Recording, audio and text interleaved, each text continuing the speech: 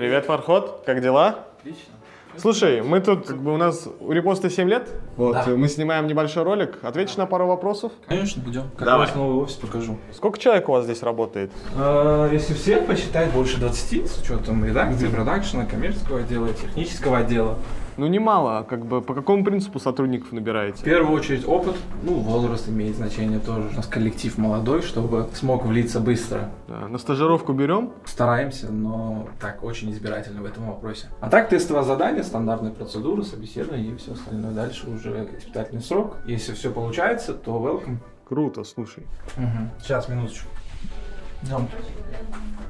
Привет, ребята. Это, кстати, э, Лола, наш SMM-специалист, руководитель SMM-отдела. Это Руслан, наш дизайнер, и Асаля, редактор раздела Lifestyle. Что делаете? А, ищем фотки Павла Турева в Ташкенте. Он уже уехал. Тогда обсуждаем стратегию продвижения на третий квартал. Ну, допустим. Ладно, работайте. Важная тема. Идем дальше, идем дальше, не будем мешать. Это наша, кстати, новая переговорка. Это мы же знакомы с новым офисом. А сколько вообще у вас рабочий день длится у этих вот прекрасных людей? Так, э, ну официально с 10 до 7, но творческие люди достаточно капризны, поэтому у большинства свободный график. Главное, чтобы работа выполнялась вовремя. В первую очередь тебя касается. Да, я не знал, ну ладно, буду иметь в виду.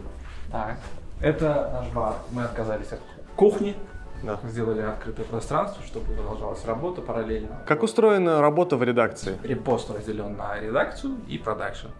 Основной уклон сейчас делается на продакшн. Побольше людей будет, человек 10, наверное.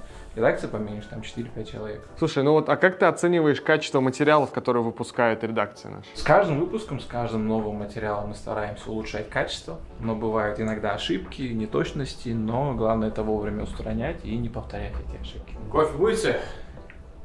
Хороший парень. Я кофе буду. А вы? Я бы тоже не отказался, но сперва насчет новости про афганцев. Когда ждать? А, скоро. Ладно, Тим, слушай, э, давай, э, ты у нас за авто как бы отвечаешь, продолжу с тобой, если ты не против. Вообще, расскажи немного про себя, чем ты у нас занимаешься в репосте? Так, я пишу новости для репост авто и для репост для основной редакции.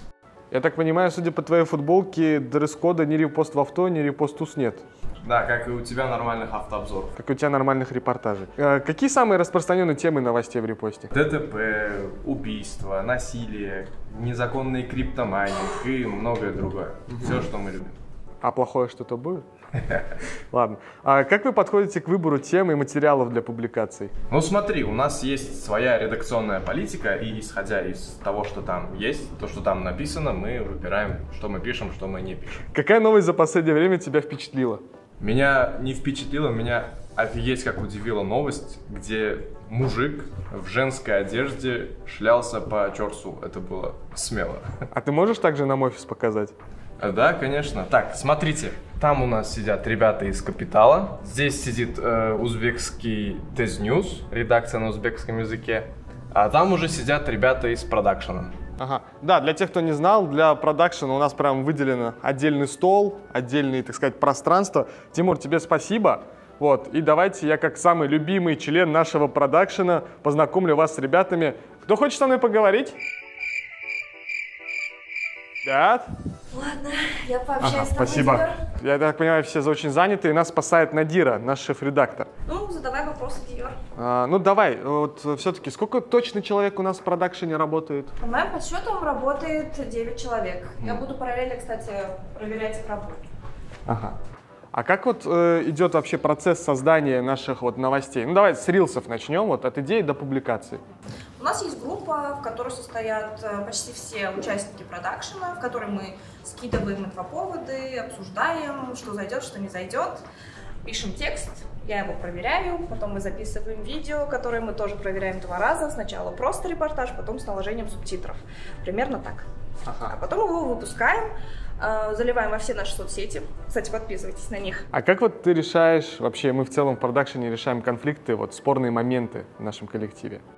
А мы увольняем тех, кто не согласен со мной из продакшена, и с многим руководством. Полностью поддерживаю. Но, кстати, конфликтов у нас практически нет, но даже если они возникают, то мы решаем их мирно и стараемся находить компромиссы.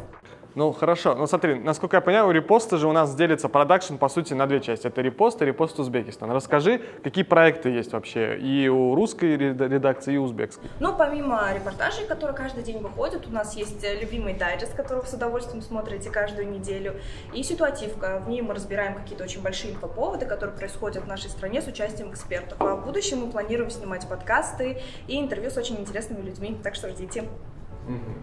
Кстати, у нас есть студия, и я бы хотела ее вам показать. Стой, стой, стой, стой, стой. Нет, давайте, ты шеф-редактор, работай, пожалуйста, а самую стильную часть нашего офиса, а точнее студию Репост ТВ, покажу лично вам я. Идемте.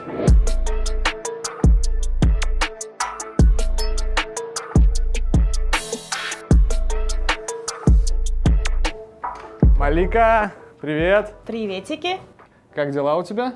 Хорошо. Что делаешь? Как видишь, новости записываю. Ага. И что, сколько времени уходит на запись одной новости? Ну, смотря какая новость. Если короткая, минут пять. Если длинная, то минут десять. Понятно. Слушай, а вот одежду для своих репортажей и новостей ты сама подбираешь или тебя заставляют все-таки? Ну, вообще я выбираю более скромные такие вещи, но удобные, чтобы приятно было смотреть. Если открытые надевают, ты меня ругаешь. Правильно делают, так и надо. Давай, скажи-ка скороговорку. Шла Саша по шоссе и сосала сушку. Мгм. А скажи, подписывайтесь на репост. Подписывайтесь на репост. Молодец. Ну а теперь самое время поговорить с основателем репоста и самым высоким человеком в мире, Тимуром Абдулиным. Тимур, можно вас на пару слов? Да? Вот, э, наверное, один из самых часто задаваемых вопросов, почему у репоста такое название? Слушай, ну, во-первых, если я тебе отвечу на этот вопрос, этот вопрос перестанет быть самым часто задаваемым, потому что иначе как мне будет начинать заводить диалог с людьми, э, если я уже рассказал на него ответ? Но я попробую. А, на самом деле, слушай, история такая, что все в нашем мире состоит из репостов. Мы живем в мире соцсетей, мы постоянно чем-то делимся, и поэтому весь контент, который мы генерируем, он в частности связан с какими-то инфоповодами, которые репостятся другими пользователями в соцсетях, поэтому, в принципе, такое название и появилось. Тогда слово репост было очень модным. Тогда его, по-моему, я не знаю, все, что было связано с перепубликацией информации, ретвиты, репосты, это все было в моде и называлось вот так. Ага. Слушай, вот у меня очень часто спрашивают люди на съемках, что им нужно сделать, чтобы про них написал репост. Слушай, на самом деле попасть в репост все сложнее и сложнее, потому что все, что сейчас происходит в мире, ну ты ничем в принципе не удивишь. Например, если бы ты задал мне этот вопрос лет 7 назад, то я бы тебе сказал, что для того, чтобы попасть в новости на репосте, тебе достаточно просто, я не знаю, устроить небольшое ДТП в городе, повредить бампер своей машины, отправить нам в мобильный репортер, и мы бы про это написали. Сейчас для того, чтобы попасть в репост, тебе нужно сделать что-то очень искушенное или совершить очень опасное преступление, что я тебе делать, конечно же, не советую. Все, зрителям, в первую очередь. Ладно, а вот какие планы у репост вообще в ближайшей перспективе? Знаешь, э, говорят, что если хочешь э, насмешить Бога, расскажи ему о своих планах. Ну вот, э, представим, что Бог это ты, поэтому не смейся. Как минимум на этот год мы уже начали эту работу. Мы хотим сделать так, чтобы у нашего продакшена, что, кстати, зависит и от тебя, на Репост ТВ, был 1 миллион подписчиков. Круто. Ну и давай вот э, финалочка. Какие выводы мы сделали за вот эти 7 лет существования? Ты в первую очередь как директор. Ну, смотри, знаешь, однажды Хабиб Нурмагомедов сказал... э, Один килограмм я- воды. Ну, типа того. Но он на самом деле сказал более мудрую фразу. Он сказал, что я хочу заработать много денег, а ходить по интервью и говорить, что деньги это не главное. Вот, так вот, э, какие главные итоги? Вот 7 лет назад... Диор, Диор, перестанешь страдать фигней снимешь хотя бы один репортаж? Ладно, ладно, ладно, хорошо. Мне уже пора, ребят. Э, Я тут задержался, кто-то же должен это все-таки сделать. Вот, поэтому всем пока, до скорых встреч.